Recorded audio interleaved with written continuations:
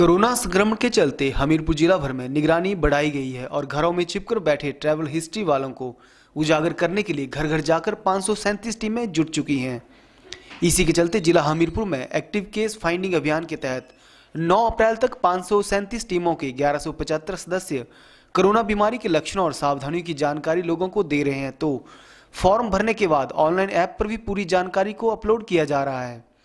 वहीं घर घर जाकर लोगों को कोरोना वायरस के बारे में जागरूक किए जाने पर लोगों ने भी खुशी ज़ाहिर की है।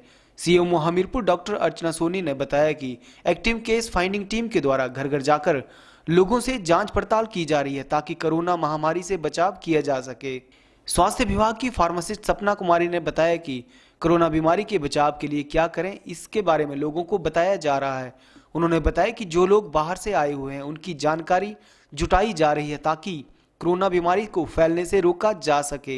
इसमें सर जो कोरोना के तहत सारे मतलब देश में चला हुआ एक कंपेन है, जिसमें घर घर जाके डोर टू डोर जो है, लोगों को एक तो कोरोना के लिए बताया जा रहा है और दूसरा out of state out of जो कंट्री आए हुए लोग मैक्सिमम उन पे ज़्यादा फोकस है कि कोई आया है, जैसे चौदह दिन से पहले या चौदह दिन के बाद या अट्ठाईस दिन के तो उनको उनका एक्टिव केस मतलब उनको पकड़ने के लिए उनको देखने के लिए कि कहीं सिम्टम तो नहीं है बाहर से आए हुए लोगों के। तो उस करके ज़्यादा कंपेन और दूसरे लोगों को जागरूक करने के लिए भी कि हाँ जी वो अगर बाहर से कोई आया है तो उसको ऐसा डरे नहीं मतलब इसमें कोई डर नहीं है, जो भी है वो आप खुल के सामने आए, इससे आपकी, आपके लिए फ़ायदा है, आपके समाज के लिए फ़ायदा है। तो इस करके भी ज़्यादातर लोगों को इस कंपेन के दौरान जो है वो समझाया जा रहा है। और बाकी तो लोगों को सारा पता है और बताया भी जा रहा है कि क्या एक मीटर की दूरी बना के रखो, या बाहर निकल रहे हैं तो ग्लव्स या मास्क लगा के रखो, ये सारा उनको हम बता रहे हैं। और मेन तो यही है कि जो बाहर से लोग हैं, उन उन पे ज़्यादा फोकस है कि कहीं ऐसा सभी को प्रॉब्लम हो जाए, क्योंकि ऐसा तो है नहीं कि एक तक ही सीमित है। ये रोग ऐसा है कि जैसे छुआछूत का माना जा रहा है अब तो कि अगर मैं इसी, इसको भी टच करूँगी तो इसमें भी वायरस आ जाएगा। तो इसलिए हम लोगों की सब बता रहे हैं। मेन ये है। आशा वर्कर अर्चना सोनी ने बताया कि सभी लोगों के फॉर्म भरकर पूरी जानकारी जुटाई जा रही है और इस जानकारी को ऑनलाइन भी किया जा रहा है। उन्होंने बताया कि कोरोना बीमारी से कैसे बचना है, इसके बारे में पूरी जानकारी लोगों को दी जा रही है। जैसे कि जैसे हम गूगल फॉर्म भर रहे हैं उसमें हम जो भी फैमिली मेंबर हैं उनके नाम उनसे रिलेटेड जो कोरोना से वायरस से रिलेटेड जो हमारे सिम्टम है उनके बारे में भर रहे हैं कि ये वाली प्रॉब्लम तो नहीं आ रही है आपको। और फ़ोन नंबर दे रहे हैं उनका ताकि आगे ऑनलाइन हो रहा है और भी कोई जानना चाहे उनके बारे में जानकारी तो जान सकते हैं। ऐसे ऐसे कर रहे हैं। और जैसे मतलब लोगों को हम बता रहे हैं कि खांसने का क्या तरीका है? जैसे खांसना है तो ऐसे कोने का यूज़ इसका यूज़ करना है, ना कि हाथों का यूज़ करना है। हाथ बार बार धोने हैं, हाथों में सैनिटाइजर लगा के रखना है, ग्लव्स लगा के रखने हैं, मास्क लगा के रखना है और कम से कम एक मीटर की दूरी बना के रखनी है। बस ये ऐसा ऐसा समझा रहे हैं। वैसे तो लोग काफ़ी अवेयर हैं, पर फिर भी हमारी तरफ़ से पूरी कोशिश रहेगी कि कहीं कमी ना रहे। वहीं हमीरपुर के वार्ड नंबर चार में आशा वर्कर ने बताया कि कोरोना बीमारी से बचाव के लिए लोगों की पूरी जाँच पड़ताल की जा रही है। उन्होंने बताया कि लोगों को खांसी जुकाम की हालत में किस तरह की दवाई लें, ये भी पूरी तरह से जानकारी दी जा रही है। पहले हम घर घर जाकर देख रहे हैं, कोई बाहर से तो नहीं कोई बीमार तो नहीं है।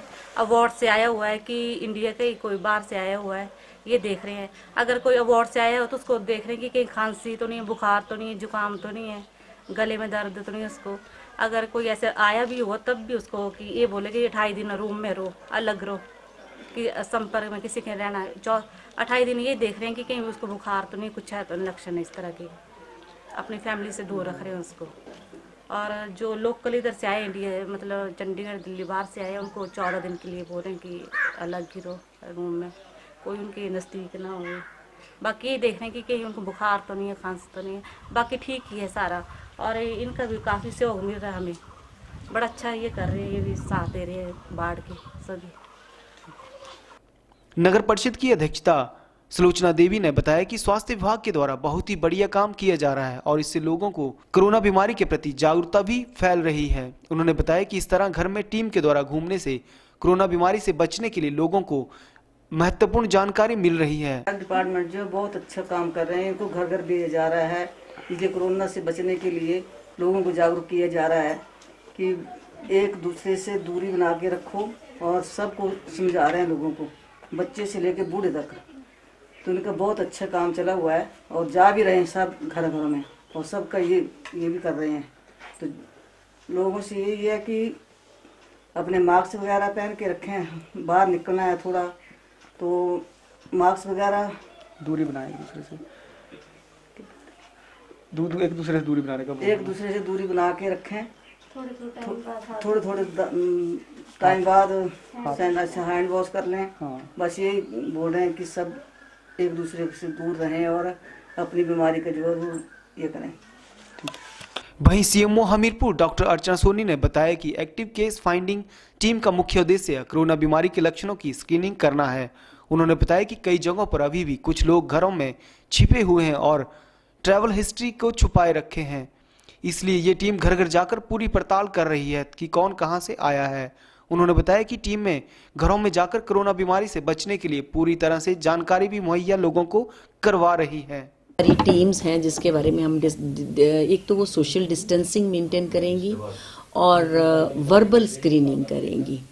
सबसे बड़ा ज़रूरी है कि हमारी टीम की हिफाजत भी ज़रूरी है तो वो वर्बल स्क्रीनिंग करेंगी और सब टीम का मुख्य ये रहेगा एक अवेयरनेस एक केस फाइंडिंग कि केस फाइंडिंग की अगर किसी में अपर रेस्पिरेटरी ट्रैक खांसी, जुकाम शॉर्टनेस ऑफ़ ब्रेथ फीवर ऐसे कुछ लक्षण पाए जाते हैं तो उनको स्क्रीन करेंगी।